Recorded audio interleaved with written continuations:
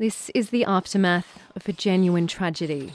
Police say the truck arrived to empty the bin before dawn this morning. Only one of the three boys asleep inside was able to jump clear as it was tipped. One of the boys has survived um, and been relatively unhurt. However, the other boy has suffered um, fatal injuries as a result of that tip. The truck driver wasn't aware the boys were there. He was treated for shock. Friends of the 13 year old who died were distraught. He was a very bright kid, happy, joyful. Always had a smile on his face everywhere he went.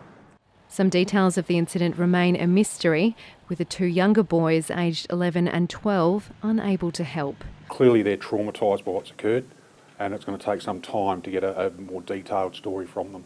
Police say they didn't know children in the town were sleeping rough, let alone in industrial bins. The boys were regular visitors to a support centre, which deals primarily with finding safe accommodation for at risk youth. Every staff member at the moment completely shaken. Uh, we were close to this young person. Um, can I, I can't. I think it's fair to say that the boys had somewhere to stay. If they, they weren't, I don't think it would be fair to classify them as homeless. They had uh, beds they could sleep in. Friends of the boys say they were always together. They're like best friends. They're always hanging out everywhere. Mostly, our young people just need love.